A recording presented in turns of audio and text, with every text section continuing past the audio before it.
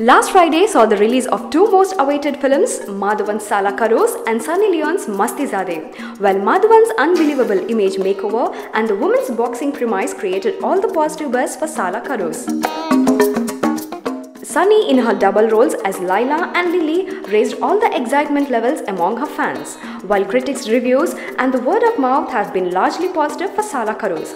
Situation was quite opposite for Mastizaade with poor reviews. However, the box office collection see a totally different picture.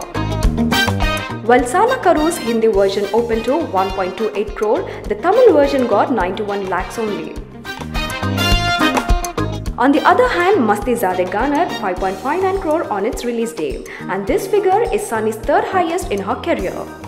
With nearly 3.4 crore more collection, Sunny gave Maddie a knockout punch in the box office contest and also proved that nothing sells better than sex on the Indian silver screen.